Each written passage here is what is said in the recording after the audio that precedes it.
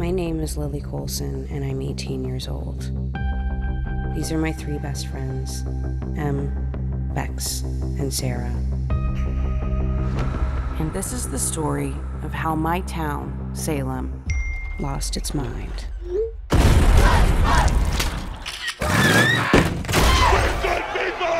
But let's start at the beginning.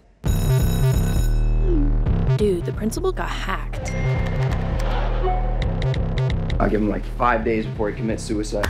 I'm sorry, I just don't have any sympathy for people that get hacked. For real? There's two types of people in this world. People that have come to terms with privacy is just dead. Then there's the old people that are still trying to fight it. What do you have to hide anyway, Lil? a million nudes, super gross porn history, and like super pervy texts about almost everyone at this school. Me too. Me three.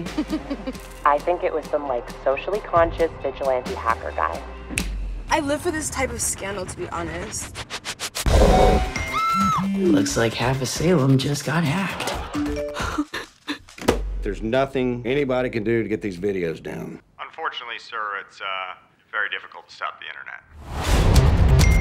When 17,000 people's texts and emails get leaked, people get really weird. Run, Lily!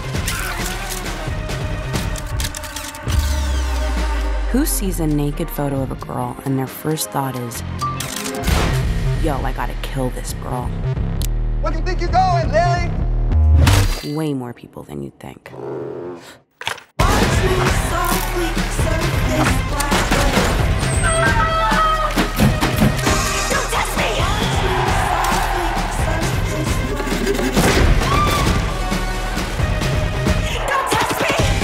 This is your world.